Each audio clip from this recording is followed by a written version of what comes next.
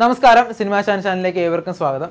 വർഷങ്ങൾക്ക് ശേഷം മലയാളത്തിൽ സന്തോഷ് ശിവൻ സംവിധാനവും ഛായാഗ്രഹണവും നിർവഹിച്ച സിനിമയാണ് ജാക്ക് ജിൽ എന്തായാലും ഈ സിനിമയ്ക്ക് നമ്മുടെ ഉറുമിയുടെയും അനന്തഭദ്രത്തിന്റെയും അതേ മാജിക്ക് പ്രേക്ഷകർക്ക് മുന്നിൽ കൊണ്ടുവരാൻ സാധിച്ചു എന്ന് നമുക്ക് നോക്കാം. വീഡിയോയിലേക്ക് കടക്കുന്നതിന് മുന്നേ നമുക്കൊരു മൂവി റിലേറ്റഡ് ആപ്പ് പരിചയപ്പെടാം. ഇന്ത്യയിലെ ആദ്യത്തെ short film O T T പ്ലാറ്റ്ഫോമായ സ്ഫേർട്ടെ എന്നാണ് ഈ ആപ്പിന്റെ പേര്. മലയാളം ഉൾപ്പെടെ നിരവധി ഭാഷയിലുള്ള ഷോർട്ട് ഫിലിംസ് ഇതിൽ അവൈലബിൾ ആണ്. തീർത്തും ഫ്രീ ആയിട്ടുള്ള ഈ ആപ്പ് നിങ്ങൾ ഡൗൺലോഡ് ചെയ്ത് നോക്കുക. ആപ്പിന്റെ ലിങ്ക് ഡിസ്ക്രിപ്ഷനിൽ കൊടുത്തിട്ടുണ്ട്. ഗൂഗിൾ പ്ലേ സ്റ്റോറിലും ഈ ആപ്പ് ലഭ്യമാണ്. കാളിദാസ് ജയറാം മഞ്ജു വാര്യർ സൗബിൻ സാഹിർ നെടുമുടി വേണു അജു വർഗീസ് ബേസിൽ ജോസഫ് എന്നിവർ കേന്ദ്ര കഥാപാത്രങ്ങളായി എത്തുന്ന ഈ സിനിമ ഒരു കോമഡി ഡ്രാമയാണെന്ന് തന്നെ നമുക്ക് പറയാം. എപ്പിക് സിനിമകളിൽ നിന്ന് മാറി ഒരു കണ്ടംപററി ഫിലിം ചെയ്യാൻ ആഗ്രഹിച്ച സന്തോഷ് ശിവൻ ഒരു ഫൺ ആൻഡ് എന്റർടൈനിങ് സിനിമ ചെയ്യണമെന്ന ആഗ്രഹത്തിൽ നിന്നും ഉരുത്തിരിഞ്ഞൊരു സിനിമയാണ് ജാക്ക് ആൻജിൽ ഒരു എ ഐ റോബോട്ടിന്റെ സഹായത്തോടെ ഒരു ട്രോമ വിക്ടിമിനെ വീണ്ടും തിരിച്ച് നോർമലാക്കാൻ ശ്രമിക്കുന്ന ശാസ്ത്രജ്ഞനായ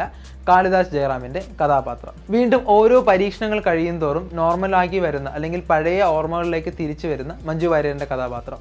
ഇതുമായിട്ട് ബന്ധപ്പെട്ടും തുടർന്ന് നടക്കുന്ന നർമ്മം നിറഞ്ഞ കാഴ്ചകളാണ് നമ്മുടെ സിനിമയുടെ കഥ. ഒരു പ്രേക്ഷകൻ എന്ന നിലയിൽ ഒരു ശരാശരി അനുഭവമാണ് സിനിമ എനിക്ക് നൽകിയത്.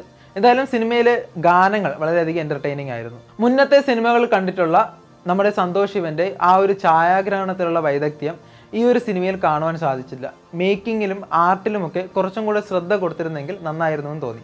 ഒരു ചെറിയ ഐഡിയയിൽ നിന്നുമുണ്ടായ ഒരു ആവറേജ് തിരക്കഥയാണ് സിനിമയിലുള്ളത് എന്ന് തന്നെ നമുക്ക് പറയാം. ആക്ടേഴ്സ് എല്ലാവരും കുഴപ്പമില്ലാത്ത ഒരു അഭിനയം തന്നെ കാഴ്ചവെച്ചിട്ടുണ്ട്.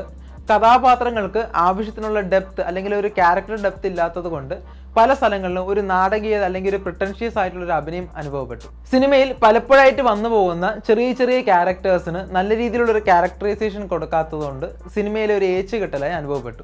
കൃത്യമായി ഡ്രാമ ബിൽഡപ്പ് ചെയ്യാത്തത് കൊണ്ട് ഇമ്പാക്റ്റ് ഉണ്ടാക്കാൻ ആഗ്രഹിച്ച പല രംഗങ്ങളും അത്ര കണ്ട് അങ്ങ് വലിച്ചില്ല എന്ന് തോന്നി. എന്തായാലും കുട്ടികൾക്കും ചിലപ്പോൾ ഫാമിലി ഓഡിയൻസിനും ഒറ്റത്തവണ കാണാവുന്ന ഒരു സിനിമയാണ് ജാക്ക് ആൻജിൽ എന്തായാലും ഈ സിനിമയെക്കുറിച്ചുള്ള നിങ്ങളുടെ അഭിപ്രായങ്ങൾ താഴെ കമന്റ് ബോക്സിൽ രേഖപ്പെടുത്തുക. അപ്പോൾ നേരത്തെ പറഞ്ഞ സ്വേർട്ടെ ആപ്പ് ഡൗൺലോഡ് ചെയ്യാൻ മറക്കില്ലല്ലോ അല്ലേ? ഈ വീഡിയോ ഇഷ്ടമായെങ്കിൽ ലൈക്ക് ചെയ്യുക ഷെയർ ചെയ്യുക ഈ ചാനൽ സബ്സ്ക്രൈബ് ചെയ്യുക. എന്തായാലും മറ്റൊരു സിനിമ വിശേഷമായി എത്തുന്നവരെ ബൈ